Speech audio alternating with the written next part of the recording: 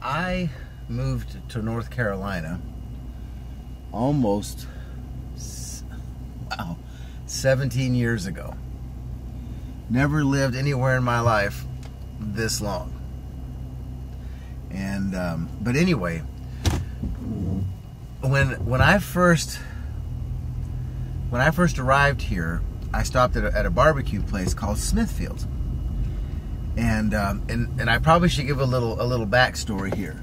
So I grew up, as most people did, eating barbecue that is either a it's sort of a Memphis or a Kansas City style, which is a tomato based.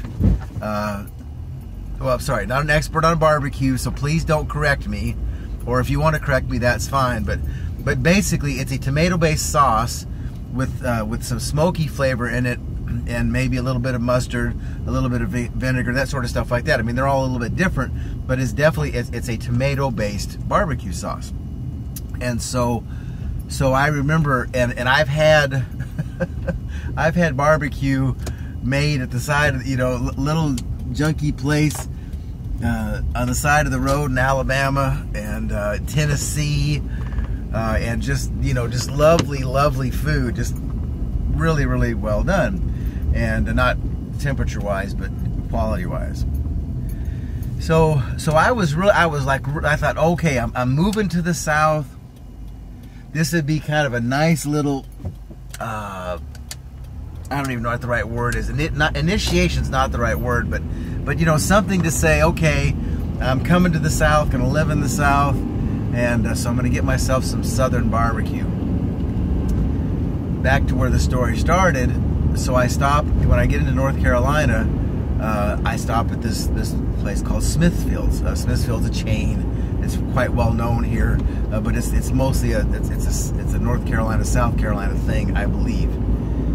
And uh, so I ordered a barbecue.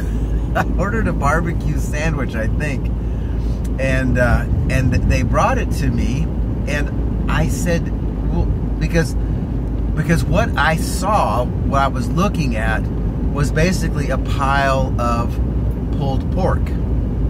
Nothing wrong with that, but there was definitely no Nashville, Memphis, or Kansas City style sauce on this on this barbecued pork. And so I thought something had been forgotten or I was supposed to add my own sauce.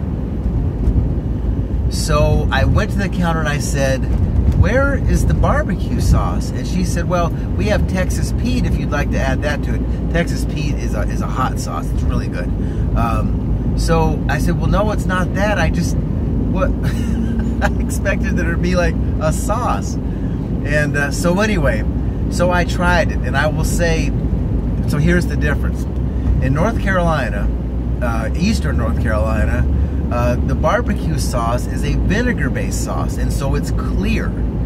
And again, I don't know what all the ingredients are that go into it, but it's vinegar, a little, some mustard seed, I think, some some um, uh, red peppers, other things. I, I don't know what goes in it, but the point is though that it's clear and it's definitely not a, a nice, warm, uh, uh, full-bodied tomato-based barbecue sauce. So anyway, so when I first got here, I didn't like it.